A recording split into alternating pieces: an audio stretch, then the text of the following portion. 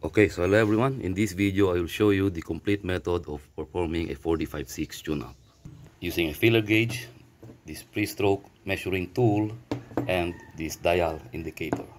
This is homemade by the way, okay? Link of which is in the description below. Now I know there's already a lot of videos out there with regard to this subject. But I feel most of those videos are only showing only half of the process. They only show you how to adjust the valve clearance but they neglect to show you how to adjust the injection pump.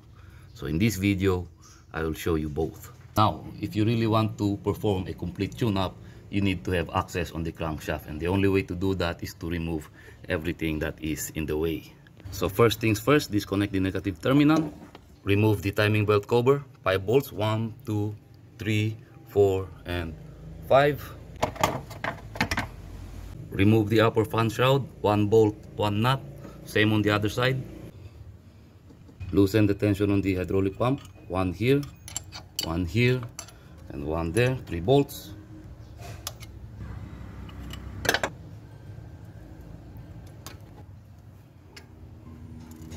Okay. Now loosen the tension on the alternator two bolts one here and one nut there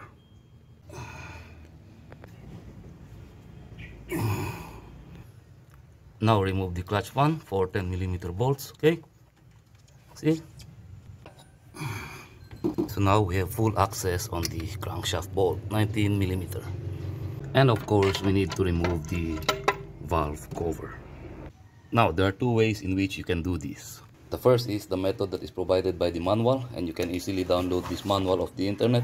Just type 4D56 manual on google and I'll show you the second method after I perform the first okay so before we even bother to consider rotating the crankshaft, make sure that the vehicle is not in gear. We can begin to rotate the crankshaft and align the timing mark on the crankshaft, okay, that's almost there, with the timing mark on the camshaft, okay, see that, aligned here, and the timing mark on the crankshaft pulley is aligned here, okay, T meaning top dead center. ATDC is meaning after top dead center. I'll explain that later. Okay, so perfectly aligned here and perfectly aligned here as well. Now, once that is done, according to the manual, we should make our adjustments on these rocker arms first, okay? This one, this one, this, and this. Now, this is the front of the engine. So, these first two rocker arms, skip one rocker arm and then these two. Now, the manual recommends a 0.15 clearance, but as far as I'm concerned, okay, and this is only based from my own experience, I always do it with only 0.10 mm. Okay, however, once you learn how to do this, you can try 0.10 or 0.15 or 0.20. It's up to you. You can experiment. So 12 millimeter wrench and a flathead screwdriver. So we will start with this one. Loosen this lock nut. 12 millimeter wrench. okay now take your feeler gauge slip it in between okay? Let's check. Loosen it loosen this lock nut some more.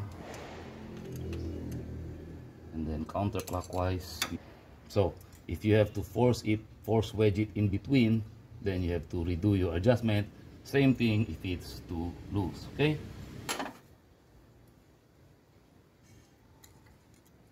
Okay so actually it's much better if you use your finger to turn this. You can actually feel it more than just using a flathead screwdriver okay?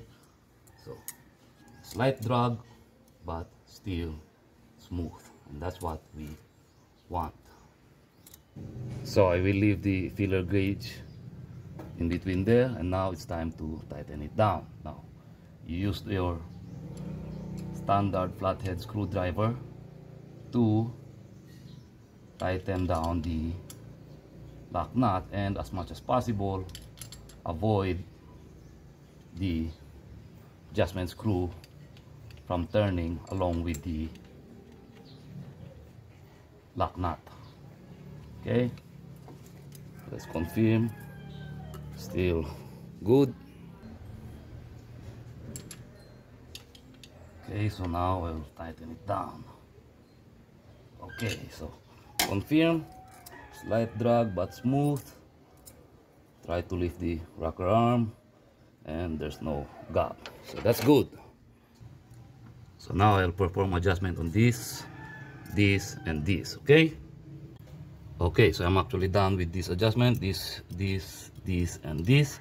Now before we turn the crankshaft and turn our sights on this one and the last three let's first confirm our adjustments again like I've said slight drag but it should be smooth. Slight drag but it should be smooth. And then slight drag but it should be smooth okay? If you really have to wedge it in force it in then you have to redo your adjustment. Okay so next thing that we're going to do is to turn the crankshaft one complete rotation. We're just going to focus our attention on the crankshaft okay? And not on the camshaft so I'll turn it now. Turn some more. We're almost there. Okay a few more. And that's that. So if you notice the crankshaft is aligned with this the top dead center but the camshaft the timing mark is on the other side. Okay and that's what we want so just one complete rotation. And now we'll turn our sights on this set of rocker arms. This one and these last three okay? Okay so just like the previous set loosen the lock nut okay? Loosen them all up first. And another tip should you find it difficult to loosen the adjustment screw from the lock nut as you can see the adjustment screw is turning along with the lock nut and you find it difficult to have a grip on your screwdriver what I would suggest you do is something like this wherein you can insert another screwdriver. This way you'll have a much more better grip. Okay so now insert the feeler gauge. Again it's much easier to turn this by hand. A much more better accurate way of doing this adjustment because you can really feel the clearance as well as the gap. Once we're satisfied with that tighten the lock nut down okay? Tighten it by hand.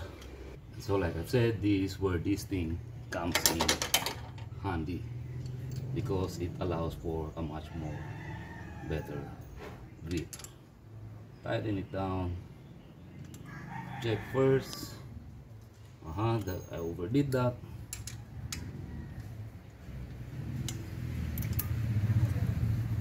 Okay. Slight drag but smooth. Leave it there. And tighten the lock nut down. Check again okay slight drag but smooth. Now tighten it some more.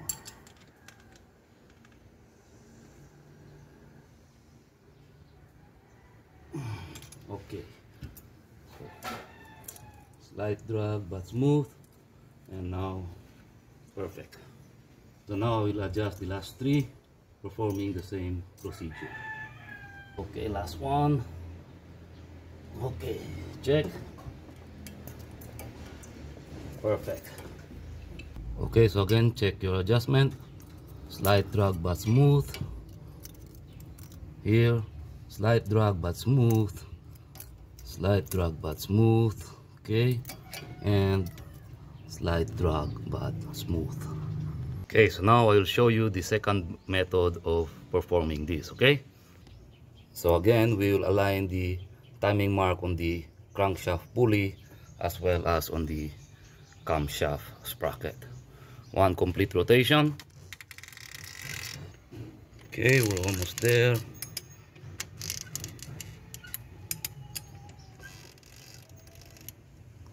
Okay so perfectly aligned. And also on the camshaft what you would want to do is count this number of cogs okay say this your timing mark start here. So 1 2 3 4 5 6 26 27 28 29 30 46 47 and 48 48 cogs. Divide 48 by 4 48 divided by 4 is 12 so count the number of cogs with marker at the ready. Again start here. 1 2 3 4 9 10 11 12 12 now mark there that's 12 okay again 1 2 3 4 5 6 7 8 9 10 11 12 mark here. Okay and 10 11 12 so mark there. Then 1 2 3 4 5 6 7 8 9 10 11 12 and then we reach there. Okay?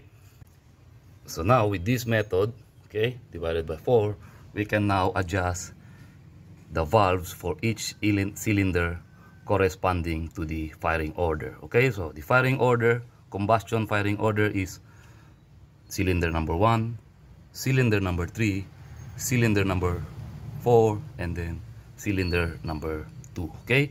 1 3 4 2 1 3 4 2 okay?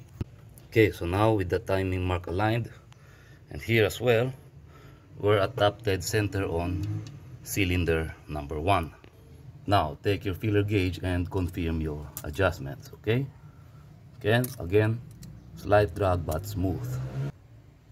And if it's not then you can adjust these two for cylinder number one.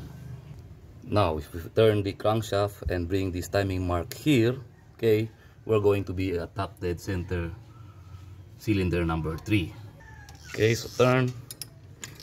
Turn. Turn. Turn. We're almost there. And there. Now confirm clearance. Okay. Confirm it with a feeler gauge. Slight drag but smooth. And this is for cylinder number three. Like i've said one three four two. Okay now next cylinder is cylinder number four. We'll bring this timing mark here. Okay? Okay so check again here. There's clearance. Confirm it with your feeler gauge. Slight drag but smooth. Slight drag but smooth. That is cylinder number four. And this four cylinder number two okay? These two. So rotate the crankshaft. Okay we're almost there. Okay so check. There's clearance. Confirm it with your feeler gauge. Slight drag but smooth. Slight drag but smooth. Now should we bring this timing mark here? That will revert back to cylinder number one. Okay so turn. Turn. Turn. Turn. Turn turn okay so cylinder number one. So okay again one three four two okay? Now that is actually the second method of doing a tune-up without having to refer the on the manual. However if you ask me I do both. I first perform the tune-up with what the manual provides and then confirm it with the second method. So that's it for the valve clearance adjustment. Now let's move our attention on this guy okay? This fuel pump. So the first thing that I'm going to do is to remove these fuel lines. Now you don't actually have to do this just loosen this four just to allow you to be able to tilt the fuel pump either clockwise or counterclockwise but in this video I'll just remove this just to have more space and also in order to provide you with a much more better view. Okay so 17 millimeter. Now at times you have to use a wrench 14 millimeter. I do believe to counter the force when turning this because there are times this would turn along with this okay? Okay so all done. It's a bit tricky just manipulate this wrench tilting it either this way and that way okay? But it's doable. If I can do it you can too. Now remove these four and actually even more easier. Okay so take the fuel lines out. We need to remove this plug 12 millimeters. Okay loosen the top and remove this by hand. Okay. So that's the copper washer. So the next thing that we'll do is to loosen the mounting nuts and bolts of this injection pump. There's one here and one on the other side. It's actually difficult to see. And two bolts there okay? So I will start with the mounting nut on the other side. Difficult to get to 12 millimeter and an extension rod. So I'll just loosen that nut okay? And this is why I prefer taking out the fuel lines in order to have more room to work with. So I'll make sure that the nut is loose enough okay? Okay? Then I'll loosen these two bolts okay? One here and one right next to it okay. And this one I'll keep it tight. I won't loosen this just yet okay? Okay so once that that is done if your fuel pump has an idle up assembly just like on this manual make sure that that is disengaged okay? So I just downloaded this manual online. Just type 4D56 fuel system and you will find this with no problem okay? Now this manual is not only for 4D56 for 4M40 as well and others more okay? Mitsubishi. And this is the one thing that I like about Mitsubishi. Uh, manuals are readily accessible engine manuals fuel system manuals transmission manuals etc so before we proceed let's familiarize ourselves with some acronyms. TDC BTDC ATDC TDC means top dead center meaning the piston is at the highest point of its travel inside the cylinder. Top dead center. And BTDC means before top dead center ATDC is after top dead center. Before top dead center meaning the piston is on its way up towards top dead center. That is BTDC then once you reach here that is TDC top dead center. And once the piston is on its way down again that is after top dead so what we are actually aiming to do in adjusting this fuel pump in either tilting it clockwise or counterclockwise is that we want the diesel to be introduced inside the engine exactly 7 degrees after top dead center.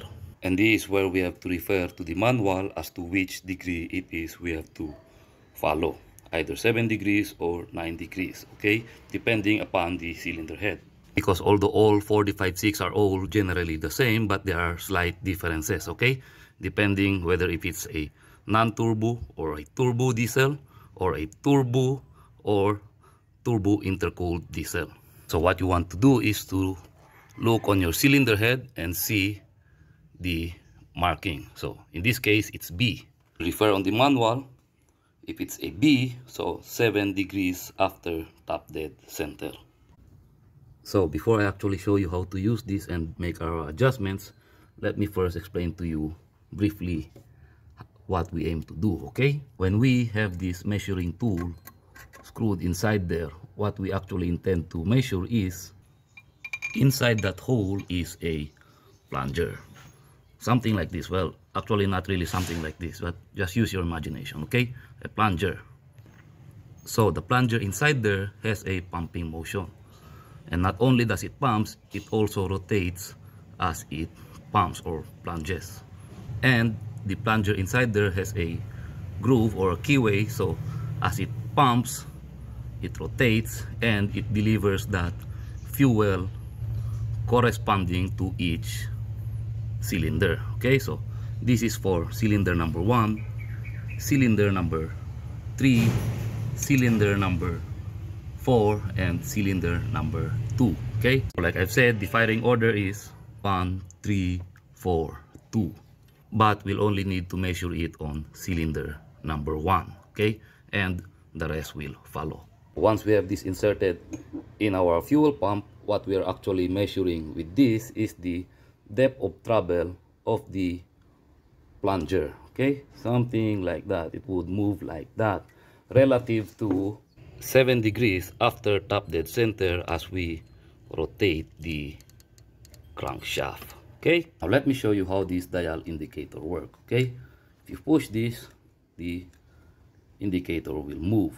Now just know that one complete rotation on this dial is equivalent to 1 millimeter and 1 millimeter is only this okay?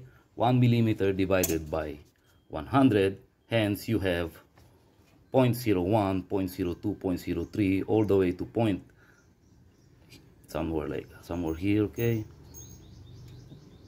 0.99 and then 1 millimeter and then if you go over that that's when you'll have a reading of 1.02 in this case 1.06 1.011 okay?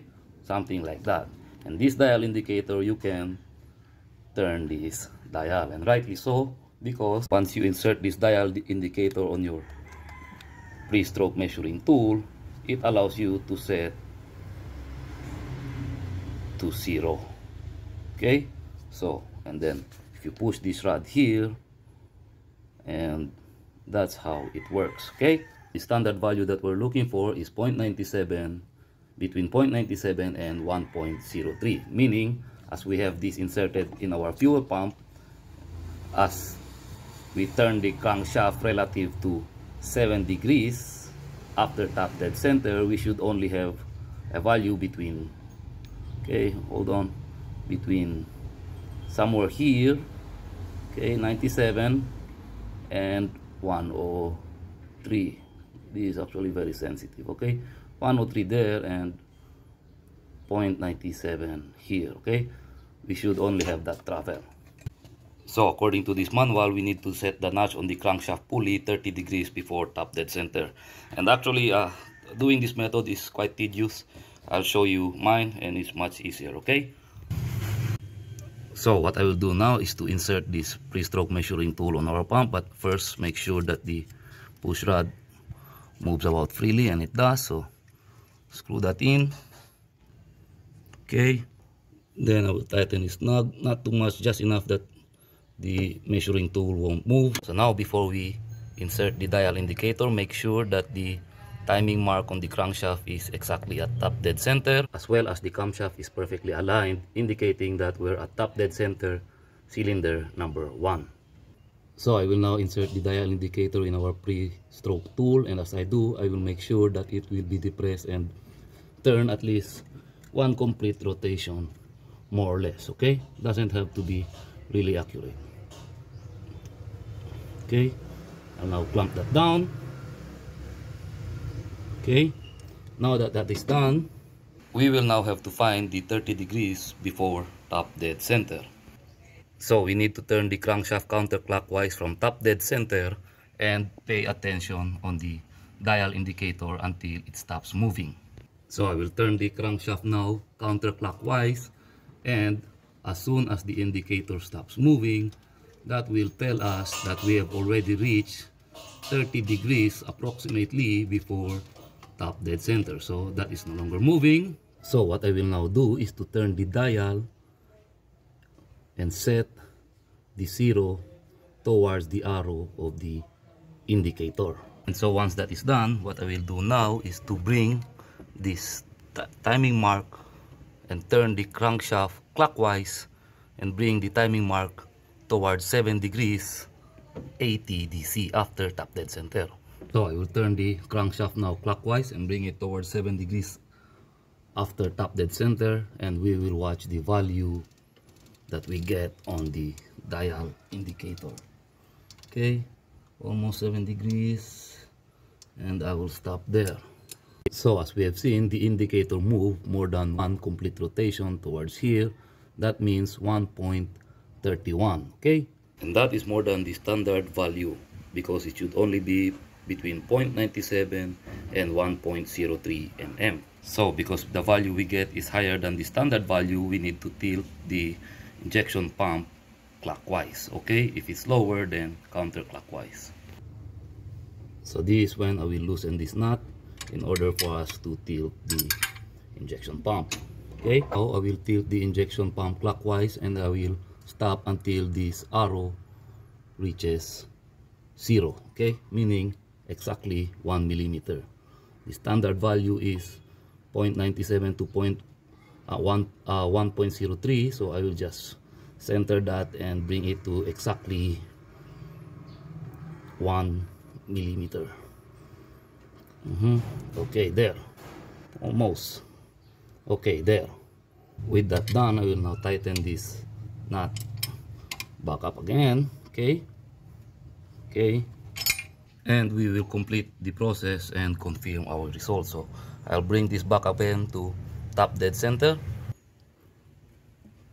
Okay top dead center. Our indicator already moved. I will turn the crankshaft counterclockwise again until it completely stops moving. And it stops on zero. If the adjustment we made is correct should we turn the crankshaft clockwise again and bring it to 7 degrees after top dead center. So should I turn the crankshaft clockwise now towards 7 degrees after top dead center, we should have a value of exactly 1 millimeter or 1 complete rotation. Okay, we're almost 7 degrees and that's that and as you can see dead on zero okay. So exactly at 7 degrees 80 DC one complete rotation meaning exactly 1 millimeter. So that's in between the standard value of 0.97 mm and 1.03 mm before we remove the measuring tool lock all the mounting nuts and bolts down.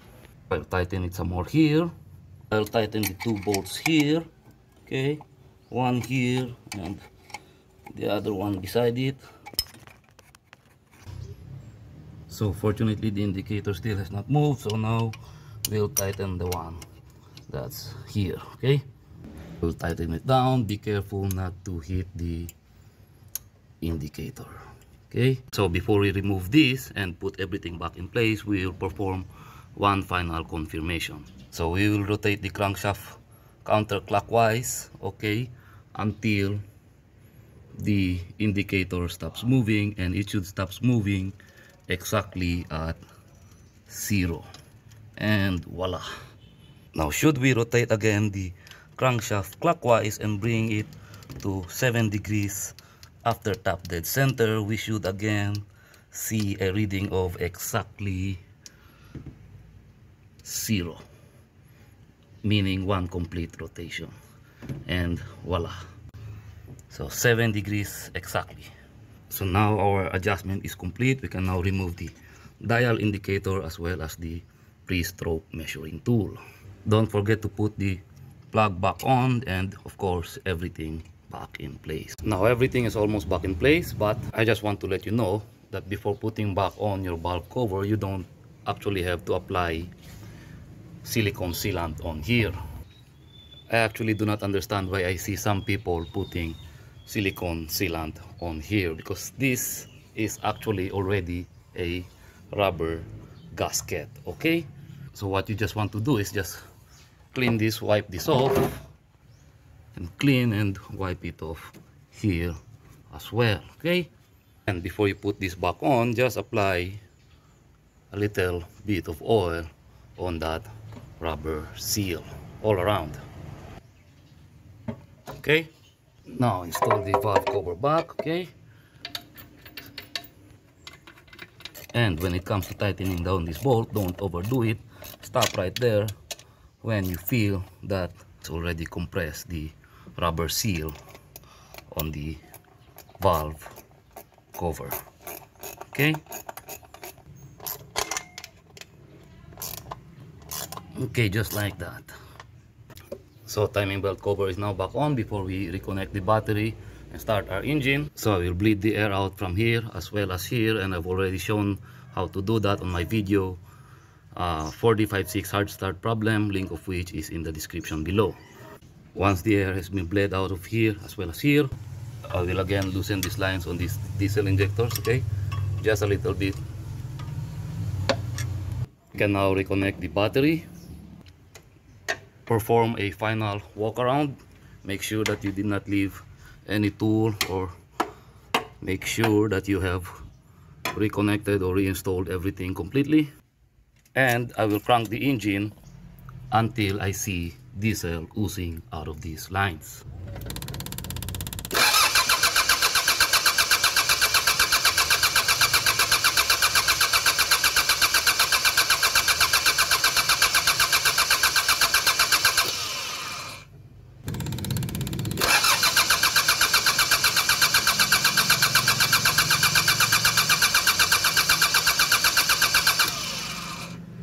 As you have seen diesel is now flowed out of the out of each of these fuel lines towards each injector. We can now tighten them all down.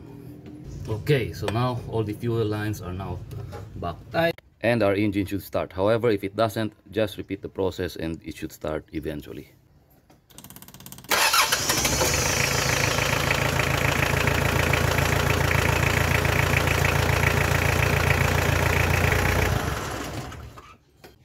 So questions, when do you want to perform this procedure? Well, one is if you notice your engine no longer performs as smooth as it used to.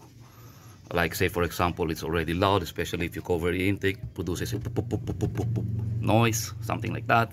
Now, in that regard, as the driver, owner of your own vehicle, you would be the better judge of that. Number two is you would want to do a tune-up whenever you perform any procedure that's going to move either the camshaft, the injector pump or the crankshaft, the fuel injectors or the fuel pump, okay? Or replacing timing belts, the balancer belts, anything of that sort. Anytime you do that, you do a tune-up. Number three is if you notice your engine constantly having a hard start problem. And number four is if you notice your vehicle producing a lot of white smoke. And hopefully someday I will do a video with regard to white smoke problem, okay? So before I will end this video, I would just like to say, it's good to follow the manual and what it provides. However, don't confine yourself solely on this, okay? Don't be too bookish about it. As you've seen earlier, even though the manual provides that the clearance should be 0.15 mm, but I only did it with only 0.10 mm. Because as far as I'm concerned, based from my own experience, this engine works better, works smoothly with only 0.10 mm clearance and it works more quieter. And I suppose the same would apply on the injection pump. You can try 7 degrees ATDC, 4 degrees ATDC, 10 degrees ATDC, 9 degrees ATDC. You can even try adjusting this by tilting this counterclockwise or clockwise while the engine is running and see how it sounds, how it performs. Like I've said this, don't be too bookish about doing this. Because what if after doing everything by the book and your engine still performs poorly? What do you do then? Will you still insist on doing the same process, doing everything by the book again? You see, the point that I'm simply trying to make is try and try until you succeed.